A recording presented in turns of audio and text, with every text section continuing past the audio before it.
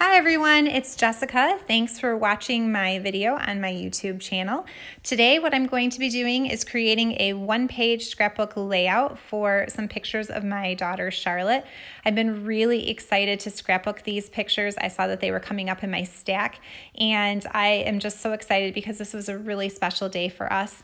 Um, it was a snow day actually in January of 2018, so it was a couple of years ago. And I am a teacher so it was a day off for me as well. And we sent the other two kids off to daycare, and she and I kind of made um, a one on one day of it. And I, of course, as always, as a teacher, had a giant stack of essays to grade. And so, one of the things that I like to do when I have a lot of grading to do is I go to a local coffee shop and I sit and I work and grade and drink my coffee. And she had a little bit of homework, but she also had this book that she had recently gotten for Christmas that year, um, which was how to draw, you know, different animals. And it was kind of like the step by step little drawing book that she's really into. She loves anything that's art and crafts, and um, she really is just kind of a little artist. And so she brought that along and she sat and she drew a picture and did some homework, and I graded my papers. And it was just a really fun, sweet day that the two of us had together. And when she was done drawing her little picture, she actually titled it and she gave it to the baristas that were working there at the coffee shop. And to this day, that's been three years, it is still hanging on their corkboard, which has all their local flyers and announcements and things for the community on that board. And it's still there um, and it has never come down. I think if ever they do take it down, I'm not sure who will be more devastated. That she will be or I will be, but um, we love to go in there and see if it's still hanging up, and, and it always is. So, like I said, when I saw that these pictures were coming up in my stack of things to scrapbook, I was really excited uh, to to um, put them down and, and preserve this memory. So what I'm using here is actually two different paper packs. Um, one of them is a retired pack from Close to My Heart, and I believe it's called Celebrate Today. But the other one is something that is current from the 2020-2021 um, annual catalog, and that is Party Time.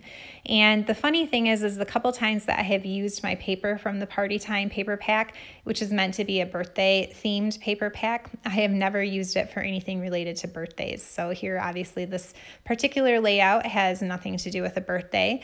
Um, I've used some of the paper um, actually on my Christmas cards that I recently made, and then I also used it on another layout that was uh, a 5K race that I ran.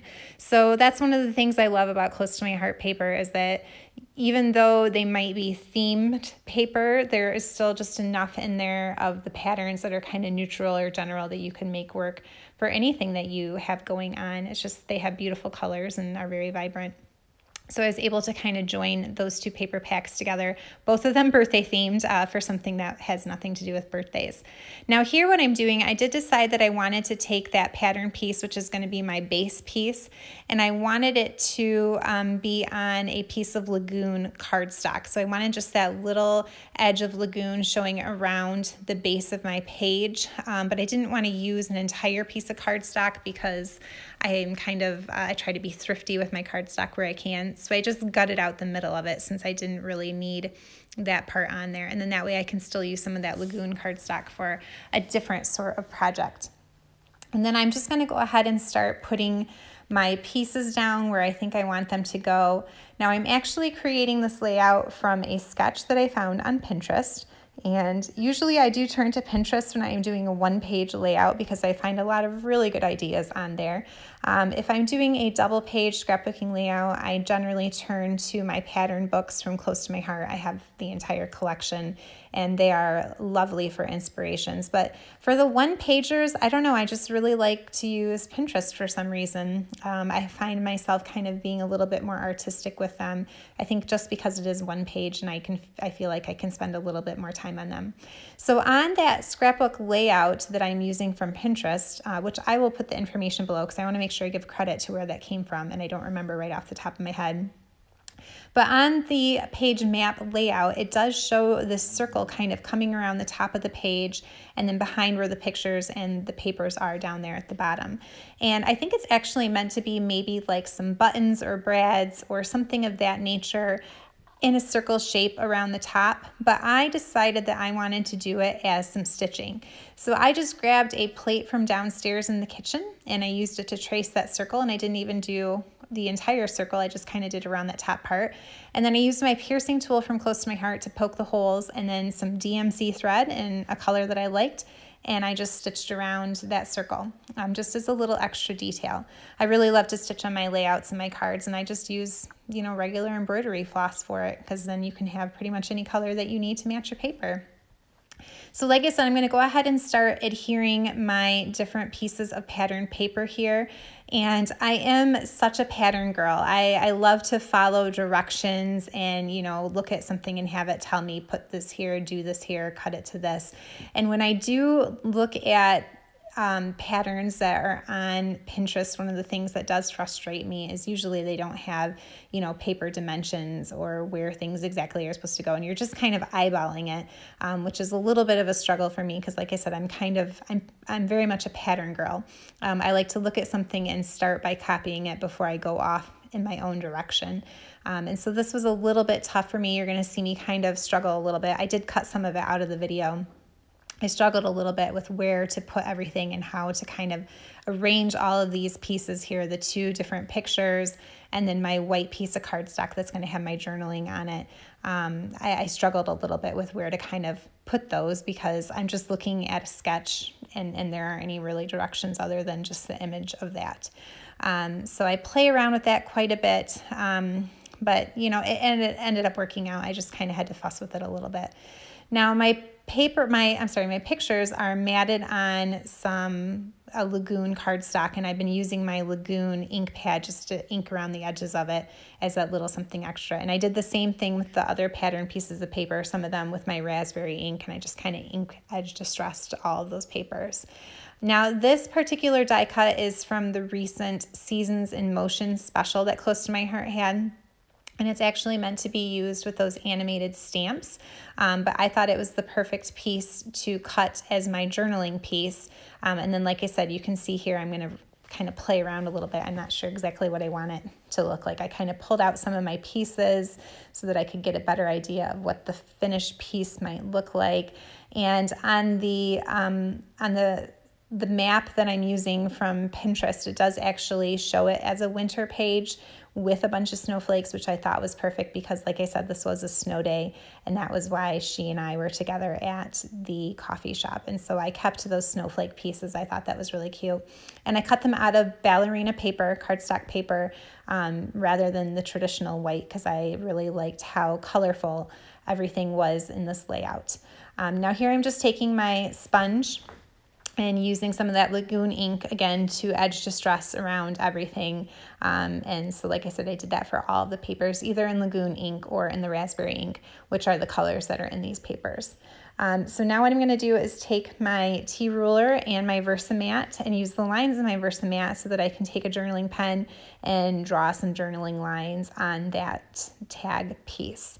And then I'm going to be ready to go ahead and put that onto my layout somewhere in the middle there of those two pictures. Like I said, I kind of had to fuss a little bit with where I was going to put them.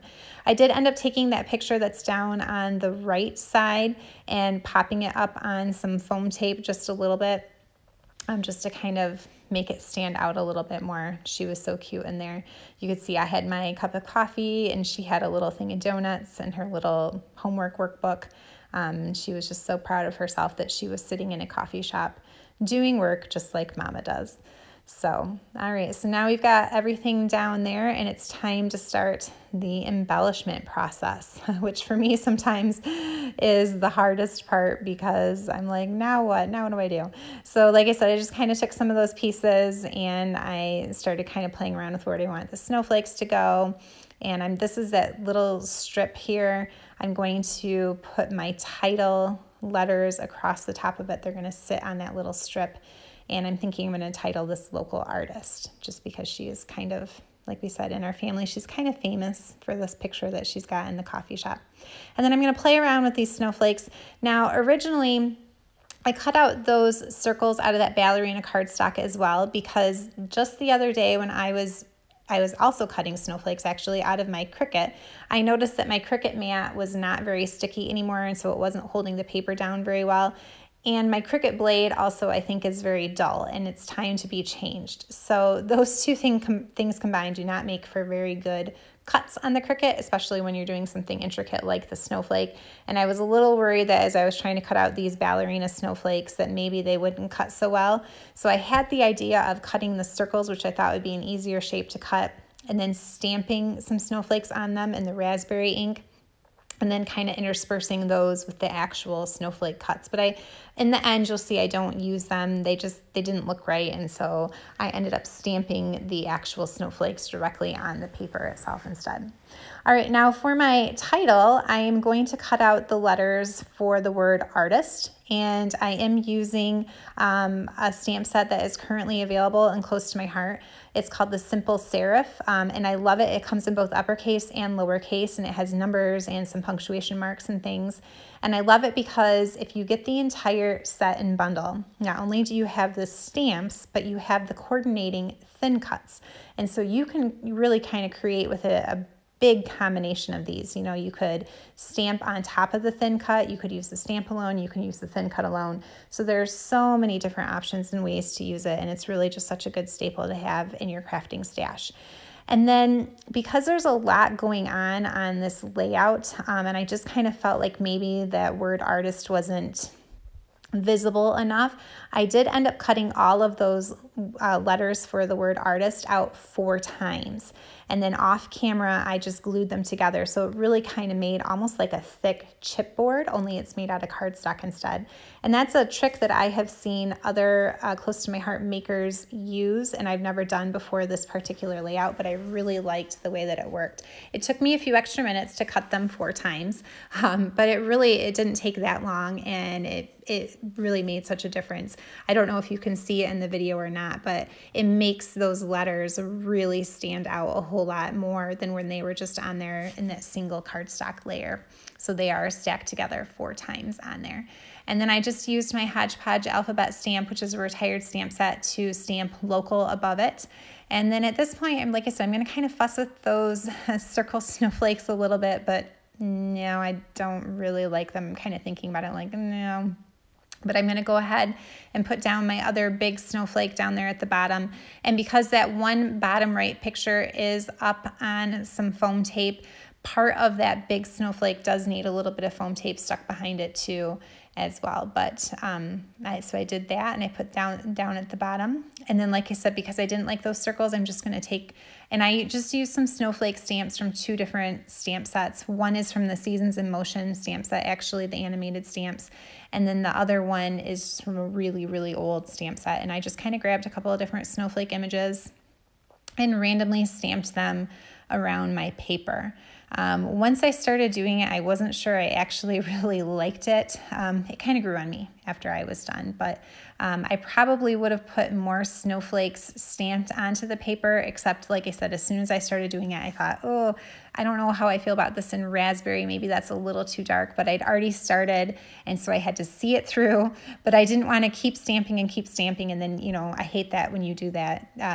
You get to the point where you've just added too much and kind of ruined your layout. So I just, I didn't put that many down, but I stopped. And then the very final thing that I'm gonna do is I'm gonna take my Stickles uh, glitter glue, which is, I believe, the icicle um, color, and I just put a little dab of it in the center of those bigger snowflakes, and then on that really big snowflake down at the bottom of the page, I put some in the little the little parts at the top of each of the points of the snowflake. And that is it. I'm going to add my journaling later. Thank you for watching. I will put some links below. If you um, liked what you saw, please consider shopping with me. And happy crafting, everyone. Have a lovely day.